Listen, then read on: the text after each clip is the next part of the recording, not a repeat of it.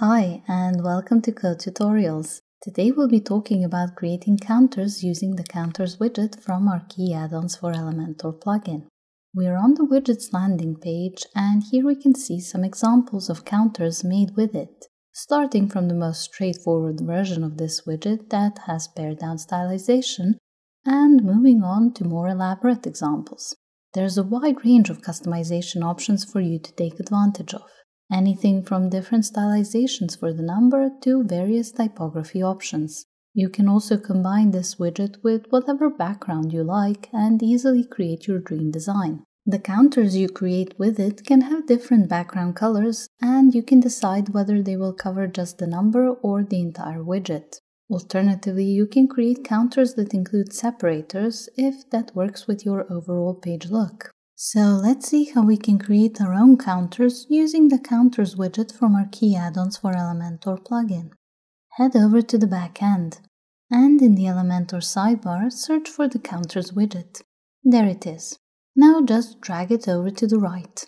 Now we can see it has some dummy content by default. To customize it, we need to look at the options on the left, starting with these two, the start digit and the end digit. As the name suggests, the start digit is the number that starts the count. It doesn't have to be 0, I'll set 45. And the end digit is the number where our count stops. I'll set 52. Now, if you don't want the count to go through all the numbers between the digits you set, then you can use this field to note down the steps between the start digit and the end digit. So if I set 3, the counter will count the numbers, increasing each by 3. It would go 45, 48, 51, and then it would finish at 52. Then step delay lets us slow down the count as it's shown. The value is in milliseconds, so if I set 500 here, that's how much each number will take to appear. Okay. Then the digit label field will let us add text next to the number, if that's something you want to do. It looks like this, but I don't think I need it now. Alternatively, for a similar effect, we can enable an icon. By default, you'll get this icon, but if you want to change it, you can do so by going to the icon settings and uploading a new image. You can pick between something from the icon library or an SVG you want to upload. I'll take you through the options here by picking something from the library. For example, an asterisk. There. Insert. Then, once you have your icon, you can select its color. I'll just set an almost black shade so it matches the text.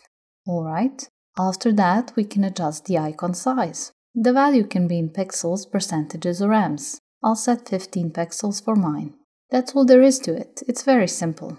Now that we covered that, I'll switch this to no as I don't plan to use an icon for this counter. The option after this lets us enable a separator. If we switch this to yes, we get the default separator, which is this line. You can customize it, just go to the separator section. Here you have the layout option. Other than the standard, which is our default, we also have border image and with icon layouts. I'll go through them in a moment. But first, if you want to change something in terms of the separator style, go to the Style tab and open the Separator Style section. Here you can easily change the separator color to anything you like. Then you can pick the border, meaning separator style. We have solid, which is also our default, but we can make it dashed or dotted. Okay. And we can adjust its width too. So if you want to shorten it, you can put, say, 100 pixels, and it would look like this. Then we can adjust its thickness. Zero would make it disappear, but increasing the number would make it thicker. The margin top helps us create additional space between the separator and the number, like so. And the margin bottom helps us do the same for the space between the separator and the title text. Okay, getting back to the Content tab now, I want to show you how the different layouts would look. If we switch this to border image, it'll look the same until we upload an image. And we can do that right underneath in the separator border image section. Click to choose your image. This can be mine. Insert. And this is how it looks like. Now, my image is stretched, but it doesn't have to be that way. Let's see what options we have. The border image size lets us display the image as auto, cover, or contain. Then we can pick the border image position. That can be left, center, or right. And we can set our image to repeat if we want to. Other than round, which is our default, you can pick repeat, space, or none. Keep in mind this will look different for you as your image will almost certainly be different. Now let's see the other separator layout option. And that's this, with icon. This gives us a separator with an icon in the middle of it. Under position, you can pick how the separator will be positioned, whether it will be in the center, on the left, which is the default, or on the right. I'll put it back. Once you're settled with the positioning, you can go to select your icon if you haven't done so already. I'm going to use the same asterisk icon to show you how it would look. And if this is the separator style you decide to use, then you can go to the Style tab and open the separator icon style options to customize it. The first option is for the separator icon color. Keep in mind the separator itself would be stylized using the set of options just above this one. This is just for the icon. So if we go to adjust the size, it will affect only the icon, as would the icon margin settings. Alright, now that we covered that, I can disable the separator. I don't plan to use it. And our next option is for changing the title text. I'll replace this, just a sec. Okay, then the field underneath this one lets us change the description text. I don't plan to keep this dummy text even for the demo, so I'll just speed through and replace it. Hang on. There it is. If we look at the sections below, you'll notice we already covered them as I was explaining some of the general options. The sole exception is the developer tools. When we open them, we can see there's just one option here. And we can switch its setting to yes and get it to display the widget in the form of a standard WordPress shortcode. So we get this text. And we can easily copy it for use elsewhere on our site. Alright, that's it. Let's move on to the Style tab and see the rest of the options there.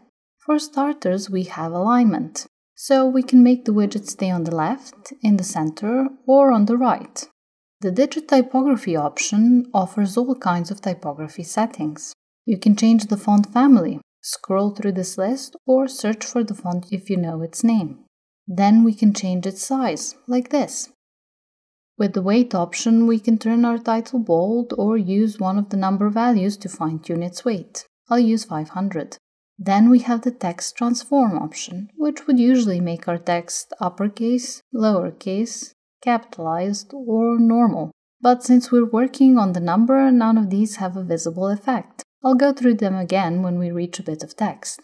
After this, we have the style, which can make our number normal, which is the same as default, or turn it italic or oblique. Following that, the decoration lets us add an underline, an overline, a line through, or we can use none of these, which is the same as our default. Then with the line height, we can adjust the height of the line with our number. It's in ems by default, but you can switch it to pixels. I don't think I need this now, so I'll just remove it. Finally, the letter spacing option gives us more space between the digits of the number. And that's it for the typography options. The next thing we have is the digit color. You replace it as you would any other color and the digit background color. When we set the color here, we get a background just behind the number. And this is something you can get creative with. Let me show you an example from the landing page. Just a sec. There it is. You can do something like this when you set a background color and adjust its size and radius. So if you like this look, these are the options you'd need to use size with the default value in pixels. You can use this slider to adjust it, or you can type in a number value. I'll set 125 pixels. And if you want to turn this square into a circle, then you can adjust the background radius. By increasing the values, you can round out the corners of the background color, or increase them enough to turn its shape into a circle. I'll set 125 pixels to do that. Now it looks like I have a spotlight on my counter. Alright. Since we covered that, I'll put this back the way it was. Moving on, we have the digit stroke effect. If we set this to yes, our number changes its look and becomes outlined. We can change the color of the outline here, just pick a new one, and the outline width here. Okay, let me turn it off. After this, we have the title tag option. It applies to the title text here, and it lets us pick any tag between H1 and H6, or even the P tag. Then we can change the title color if we need to. Below this is the title typography option. The options here are identical to the ones we saw in digit typography. I only want to show you the text transform option as I promised earlier. We can use it to turn our title uppercase, lowercase, capitalized, or normal. And that's it, we can carry on. The next option is text color, and it lets us set the color of this text below the title. You can change it to whatever you like. The second option we have for stylizing the text is the typography. Again, the typography options are all the same. These only apply to the text instead of the title or the digit. Now, if we look at the sections underneath, spacing style is the only one we've left to cover, as we've already gone over the options in separator style and separator icon style. So let's open it up. This is where we can set a margin for the title top. If I set 10 pixels, the space here will be a touch smaller, and we can also set a margin for the text top. We do that here. Alright, Finally, the text padding lets us adjust the space all around the description text. If you keep all the values linked together, you can increase the padding evenly. Or you can delink the values and adjust only specific parts of the padding, like the top. And that's it. If you need multiple counters in the same section and you're happy with the one you made, you can simply duplicate it. To do that, right click on it and go to duplicate.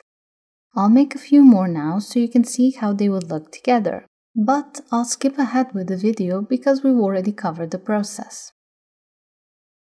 And here we are now.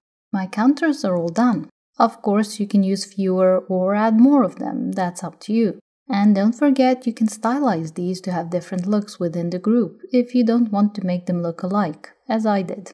If we look back on the landing page, we can see the different things we can do with the counters widget and the potential variations we can make.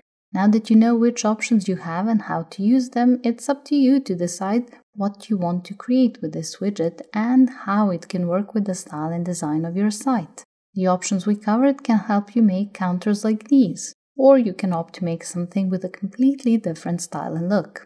I hope going through this together has helped you to see how easy making counters can be with the Qi add-ons for Elementor plugin and its counters widget. If you have any questions, comments or suggestions, please drop us a line in the comments below. Also, make sure to subscribe to our channel and be the first to learn about new theme guides and tutorials. Thanks for watching!